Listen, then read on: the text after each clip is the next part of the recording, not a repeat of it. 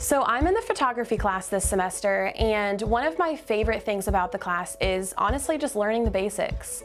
It's not a class for pros, you don't have to know anything. And so I really enjoyed the fact that I could go in there and learn just the simple basics like exposure, ISO, white balance. I did not know what those things were before. And so um, being in this class has really helped me out. Just learning those things, the foundation, um, to just know how to work my camera. I'm a communication arts major, so I'm in public relations, and I have a minor in social media.